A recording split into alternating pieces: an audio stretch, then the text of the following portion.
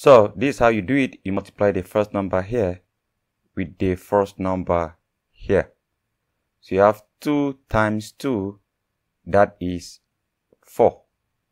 Now you leave a space.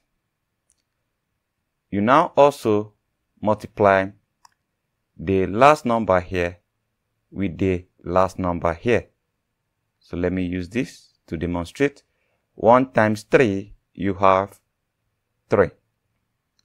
Then you multiply the first number here again with the last number here. That is 2 times 3, you have 6. Then you have plus, you multiply the last number here with the first number here. That is 1 times 2, you have 2. So you now add 6 plus 2, that is 8. So the final answer is 483. Now this is what you need to do. This is the trick. Thank you and goodbye.